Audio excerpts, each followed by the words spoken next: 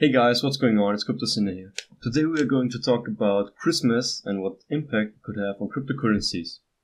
So, this is a very interesting topic because this is actually the first year that Christmas and the Christmas time could have a big impact on the market overall and especially on the prices.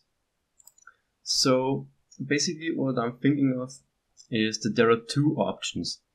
So, the first option is that people are selling their coins and taking their time off to enjoy the time uh, with their families.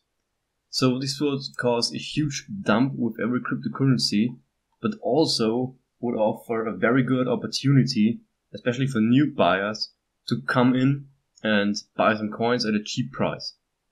So if this first option occurs, then I would definitely buy around the Christmas time because what I think is that that when the price dumps and people sell the coins to take the time off to spend it with the family, the price will definitely go up in the first two weeks of January the next year. Then the second option is that people, especially teenagers, get a lot of money as a Christmas present and they are investing in cryptocurrencies. So the odds of this happening, I think, are higher than the odds of people selling. So, because I think especially teenagers get a lot of money uh, for Christmas, and they are investing then them. But I don't think that this is such a huge amount of money that it would really significantly impact the price and the market. But I think when people are selling, and especially big whales, are selling to take the time off, that would cause a huge dump. So I like to compare this uh, first option, so people are selling, with the Friday dumps. Because like every single Friday, if you look at the current the cryptocurrency market, you can actually see that almost everything is red.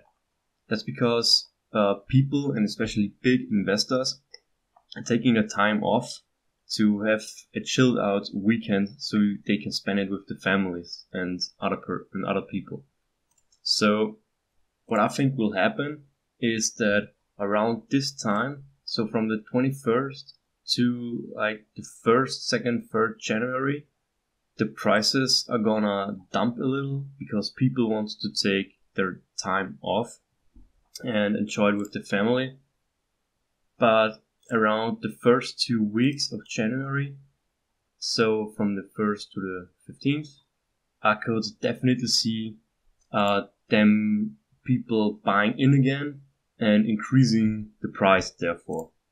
So a good opportunity to buy would be around the next one or two weeks and then you should definitely see some price increases and make nice profit. So I hope you enjoyed the video. I hope you have a basic idea of what could happen in a little short video. I hope you enjoyed. Please leave a like and a comment. Also, and subscribe. Thanks for watching.